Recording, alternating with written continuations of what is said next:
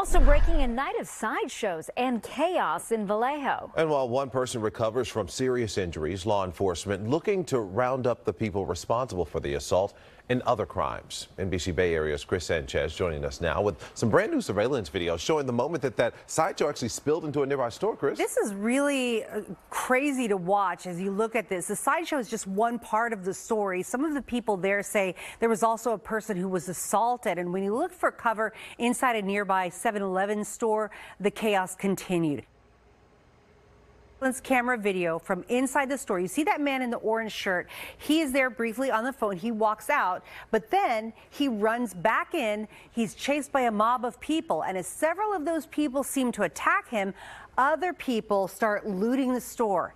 Eventually, that man in the orange shirt makes his way behind the register for safety. You can see the blood visible on the neck and arm of his shirt. Now, as that man in the orange shirt, the uh, victim there, leaves the store, you also see about a dozen other people leaving with cases of what appears to be beer. Several others jump over the register, try to take lottery scratchers. People who live and are just trying to work in Vallejo say it's out of control. I was born and raised here my whole life, and it's just the last, what, three years, four years, it's gotten bad, real bad. We need more cops here badly. It's, it's lawless here. Every, I mean, it's getting terrible. You can't go anywhere without something happening.